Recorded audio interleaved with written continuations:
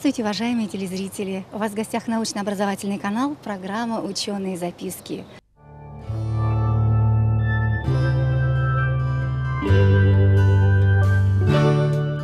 С какими чувствами вы вспоминаете университет, Томск, друзей? Ну, безусловно, это же юность, это же становление, это же, ну, о чем говорить, это Томск. Это, а Томская геологическая школа – это? Это э, наша жизнь, и мы ее продолжатели.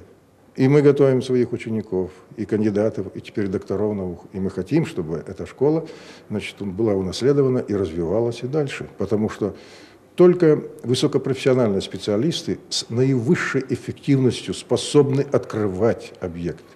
А работать просто в геологии способны многие. И работают многие. Открывают из тысячи единицы. А что касается бахчарских рудных месторождений, ваша оценка? Боюсь огорчать мечей.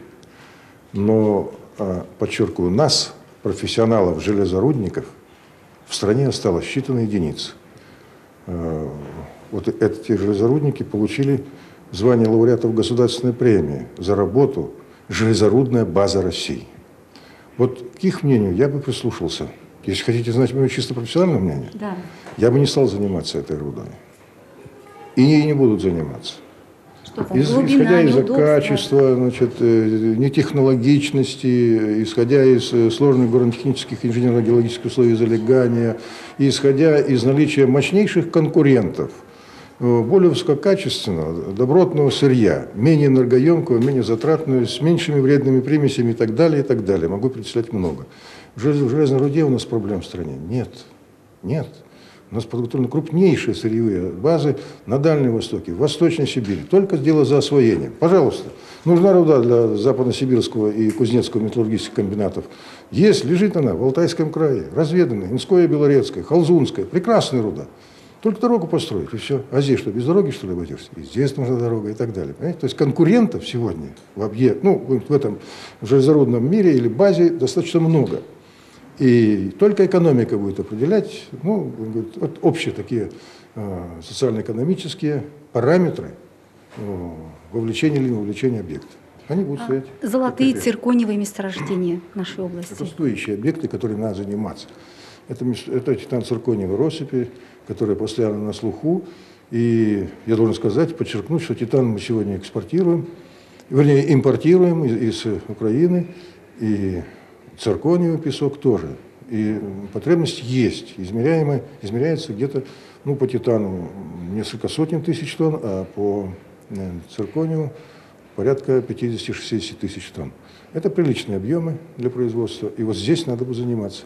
Ну, насколько мне известно, э, лицензия-то выдана, есть владелец, значит, надо инициировать работу с э, недропользователем. Открытия будут в области, будут и серьезные открытия. И не только на правобережье, на которое мы рассчитываем, но и на левом берегу. То есть и здесь, в традиционных местах добычи и разведки. Так что э, далеко не весь потенциал еще выявлен и разведан. Э, если значит, он может быть оценен процентов на 40, вовлечен потенциал. Но э, кроме этого есть огромные возможности еще и в другом. Ведь э, в коэффициенте извлечения нефти и газа, в коэффициенте, особенно нефти, понимаете, ведь э, большая половина нефти остается в недрах. И это считается нормой. Это считается должно безобразием так. Но, к сожалению, мировая наука и практика ну, пока не достигли извлекаемости свыше 55%. Но у нас-то в стране 36%. Значит, вон какой резерв. А что значит повысить извлекаемость, скажем, э, на 10%? Это значит настолько же увеличить объемы запасов, не проводя фактически разведочных работ, а только проведя технологические исследования. Это серьезный подход. Поэтому возможность заключается еще и в более рациональном и полном использовании того, что уже известно, или в том числе на действующих промыслах. Закон о недрах. В чем суть разногласий? В чем несхожесть позиций разных сторон? И ваша позиция? Наша позиция не делать резких движений. Закон о недрах определяет экономику страны. То есть он определяет правила использования недр. Недра, то есть ресурсы недр, сегодня основная составляющая часть экономической базы страны и ее будет бюджетных поступлений. И всякие шарахания из одной стороны в другую чреваты ну, последствиями э, именно экономического плана. Поэтому э, мы за унаследованную политику, в том числе и в законотворческом процессе. А, соответственно, должны быть сохранены базовые позиции действующего закона о недрах. Что ставится в обоснование необходимости изменения действующего законодательства? Э, переход э, с разрешительной административной системы в пользовании, в праве доступа, получения права доступа к недрам на м, гражданско-правовую, то есть договорную, аукционную. Ну, скажем, вот э, в Томской области Федеральное агентство по, э, по недропользованию выбирает какую-то площадь перспективную нефть, газ и объявляет на нее аукцион. Приходит торговый дом значит, и выигрывает, платит больше денег за эту площадь и получает лицензию на 25 лет. И начинает что? Вот что он, он начинает, он торговать только умеет, извините, а не работать э, с недрами. Ну, он или законсервирует, или Но у начнет него много работать. денег. Да. Вот смысл в чем. Поэтому мы-то сторонники не выдавать лицензию или право на недра не тому, у кого деньги, и только и всего, и большое желание этими деньгами сделать еще большие деньги. А тот, кто имеет возможность проводить работу, у кого есть специалисты, техника, технологии, опыт, то есть история работы уже с недрами и так далее. Таких у нас достаточно в стране. Понимаете, вот в чем дело. Каждый должен делать свое, свою работу. Но это Но- довод очевиден. Другой Почему? момент, Да. другой момент. Это только чисто кадровый и технический организационный момент. Но есть еще, еще позиции э, существенные. Скажем, нет одинаковых месторождений. Вот проблема, о которой я сказал, повысить извлекаемость, э, скажем, нефти, извлечение нефти, то есть повысить коэффициент извлечения на 10-15% хотя бы. Это уже значит, э, технологические подходы. Так вот, ныне действующая система предусматривает конкурсы, конкурсный э, отбор претендентов. Это значит конкурс технологий. Кто предложит лучшее технологическое и экономическое решение для отработки этого месторождения, для наиболее полного извлечения полезных ископаемых из недр, причем с сохранением всех, вернее, с, природоохранными мероприятиями, сочетающимися с применением э, современных экологических э, значит, защитных технологий и так далее. Это все выбирается на конкурсе. То, чего нет на аукционе. Так вот, мы за сохранение конкурсной системы отбора претендентов с аукционным окончанием. Поняли, да? То есть смысл, на, на конкурсе выбираем лучшие технологические решения, две-три компании, скажем, а потом на аукционе определяем из них победителя. А предлагаемые решения останавливаются только на аукционах. Я же, я же не случайно слово «торговый дом» привел в пример. Когда будет принято решение окончательное? По закону, значит, закон только поступил в Государственную Думу, начинает рассматриваться э, с осени. Думаю, что в этом году он принят не будет, поскольку очень много противоречий, кроме тех, что я отметил. Ведь э, в конце концов аукцион, конкурс это не так уж может быть принципиально. Принципиально другое. Закон направлен по-прежнему на то, как распределить, разделить остатки неразделенного фонда недр. Так вот, мы, мы говорим о нефти, да? Значит, 92% нефтяных ресурсов уже имеют своих хозяев, то есть владельцев, 92. Значит, осталось нераспределенным 8%. Но это неудобье, это низкое качество, это удаленные объекты и так далее. Мало там хороших объектов в 8%. Так вот, закон весь построен так, как разделить вот эти 8%. А мы считаем, что сегодня главная задача законодательства о недрах, как эффективнее использовать 92%. Уже распределенный фонд нет. Понимаете? Это, это одна задача. Вторая задача. Мы уже 14 лет из-за скудности ассигнований или нестыковки закон, законодательства, как я говорил, налогового, инвестиционного и закона о недрах, мы не восполняем сырьевую базу. То есть мы добываем больше, нежели чем разведываем. Это самый плохой подход. Это называется истощительная природопользование. Так вот, задача сегодня воспроизводства сырьевой базы становится задачей номер один. В законе предлагаемом абсолютно этот раздел упущен. Следующий момент. Регионы. Ведь э, известным зак- законом от прошлого года, зак- законом, который называют как закон о монетизации льгот, статьей 13 внесена поправка в закон о недрах, где ликвидировано так называемое правило двух ключей. То есть э, ранее э, лицензия выдавалась за двумя подписями, за подписями значит, региональных органов власти и федеральных органов власти. Теперь регионы полностью отстранены от процесса управления недрами, за исключением общераспространенных ископаемых, это песок, глина там и так далее. Вот печку подмазать там, песок добыть, дорогу подсыпать, это еще за регионом оставляется. Все остальное, даже мельчайшие, мелкие объекты, скажем, рудного характера или там, э, скажем, нефтяного, неважно, все э, они переходят, э, значит, уже ну, в распоряжение, уже перешли, федеральный орган управления нет. Мы считаем это принципиально неверной позицией. Во-первых, подчеркну, что за прошлый год, например, регионы вложили в геологоразведку 5,5 миллиардов рублей денег.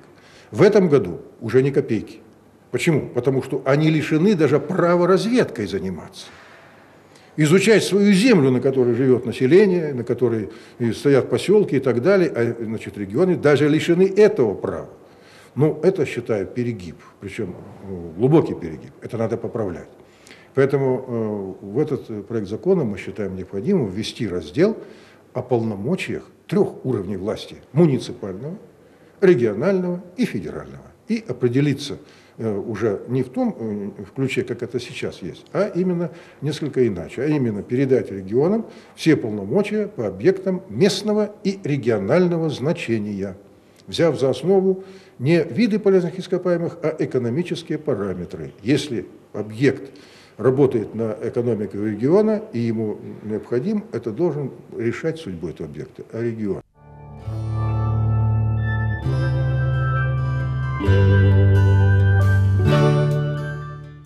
Минералогический музей имени профессора Баженова входит в состав музейного комплекса Томского государственного университета.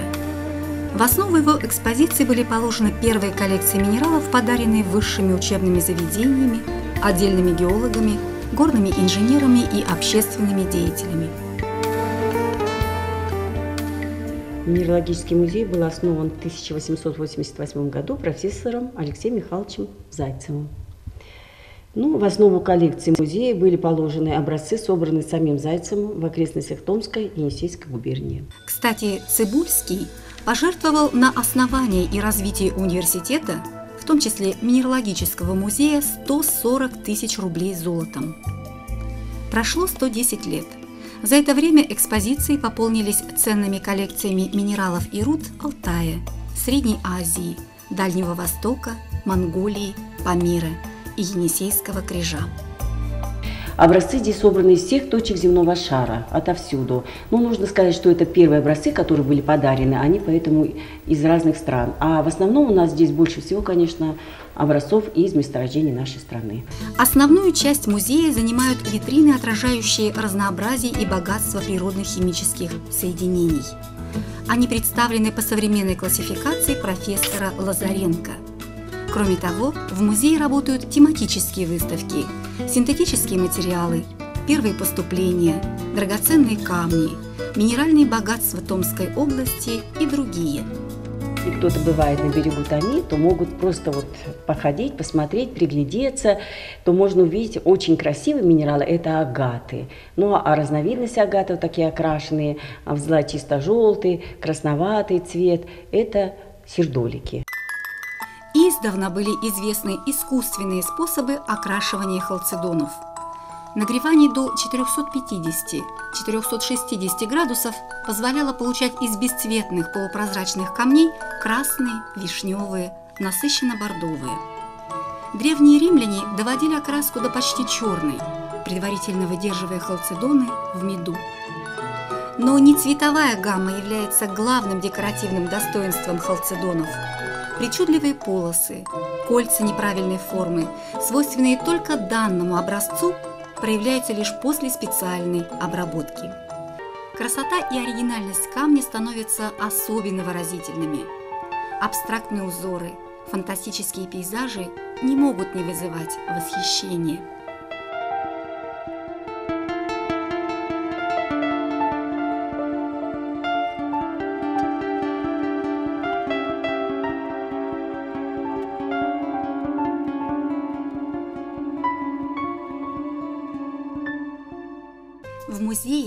Как в природе, соседствует живое и неживое.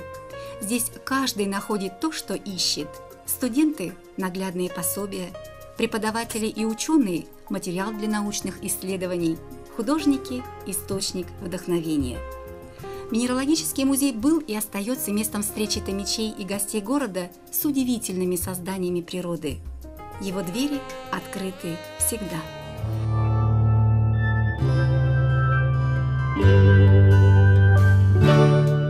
Человеку неискушенному просто трудно представить себе масштаб исследований ученых-гигиенистов. Их работа касается практически всех сторон нашей жизнедеятельности. Особенность Федерального центра гигиены имени Эрисмана в том, что все эти исследования ведутся на высочайшем мировом уровне и вместе с тем комплексно.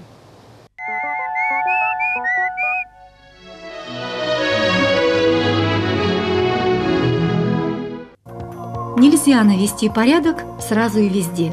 Нереально.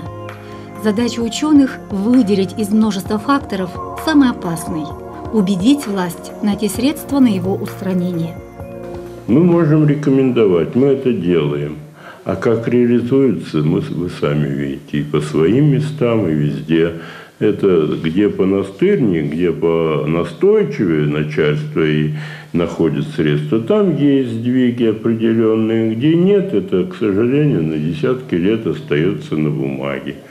Вот. Но мы надеемся на лучшее. Гигиеническая экспертиза проектных решений.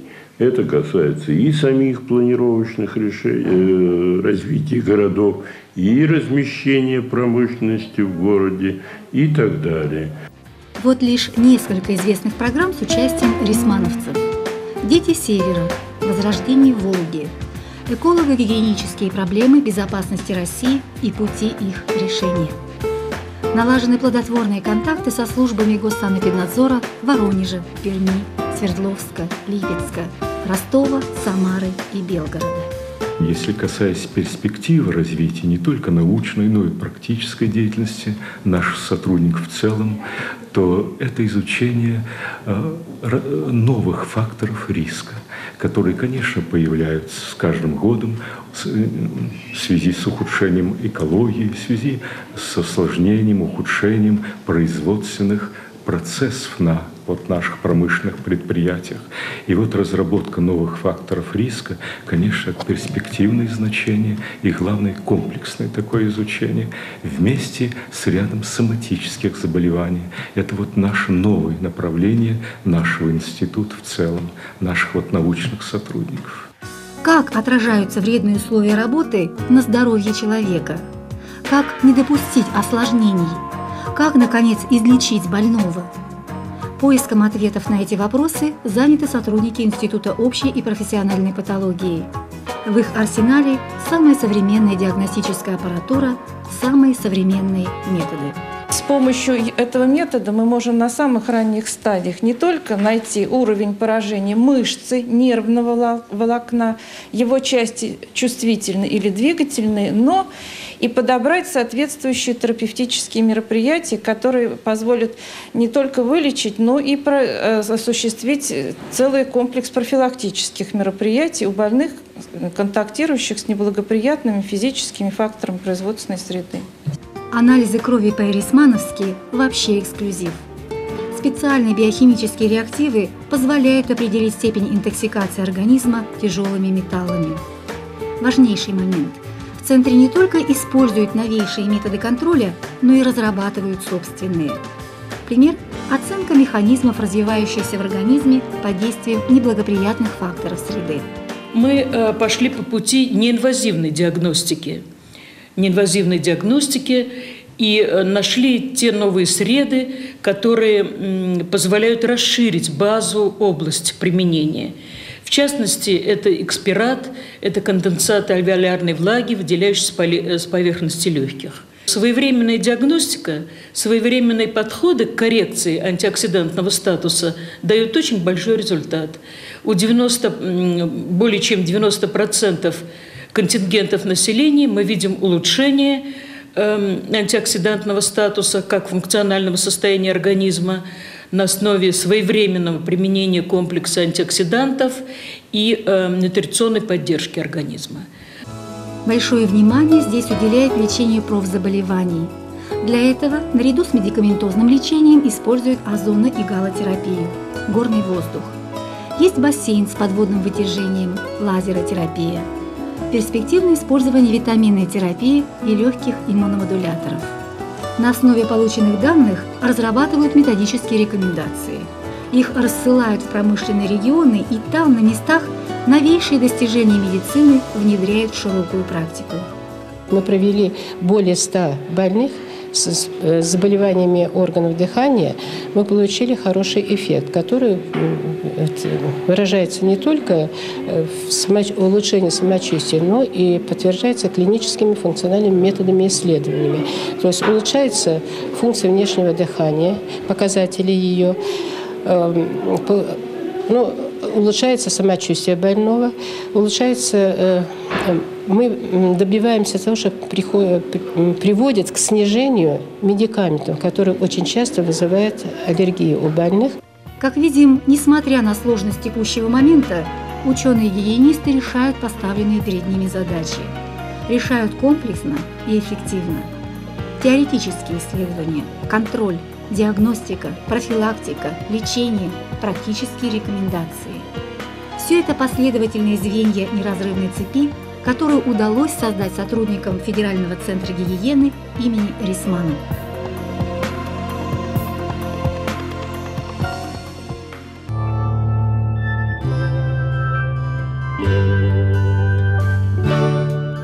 Уважаемые телезрители, на этом наша программа заканчивается, и мы благодарим вас за внимание. Желаем всего самого доброго. До свидания.